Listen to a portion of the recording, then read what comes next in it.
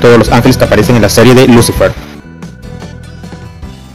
Dentro de esta historia, Menadiel es el ángel primogénito de Dios y su mayor guerrero, representando su furor y justicia. Uno de los deberes de Menadiel durante milenios fue devolver a Lucifer al infierno cada vez que éste se aventuraba a la tierra, sin que el propio Lucifer lo supiera. También fue el encargado de bendecir a los padres de Chloe Decker, quien posteriormente se descubriría que fue un regalo de Dios para Lucifer. Aunque en un principio Menadiel solía despreciar a los humanos, con el tiempo aprende a quererlos y amarlos e incluso se enamora de la doctora Linda Martin, con la cual tiene un hijo llamado Charlie. Una de sus habilidades exclusivas es la de poder ralentizar el tiempo e incluso detenerlo, ya que esto fue visto en una ocasión. En la historia, Amenadiel es un querubín de Dios y que posteriormente se reveló también ante Dios y pasó a ser un ángel caído debido a que fue expulsado del cielo. La palabra Menadiel es de origen etimológico confuso y seguramente proviene del hebreo antiguo o arameo. Se ha planteado que debe significar algo así como castigo divino, relacionándolo con el hecho de haber perdido la bendición de Dios y haber sido condenado como un ángel caído tras haberse revelado a Dios.